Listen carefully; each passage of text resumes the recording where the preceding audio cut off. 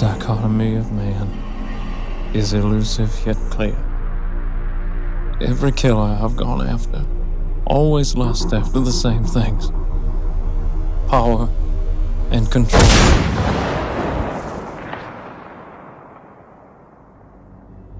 But this man.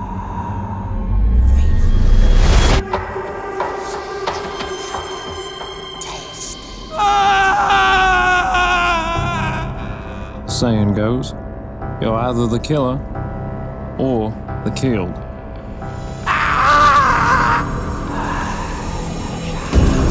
Victim after victim, mutilation after mutilation, the beast is never satisfied with its prey. I've been thinking about this being my last case. I'm not sure what I would do after.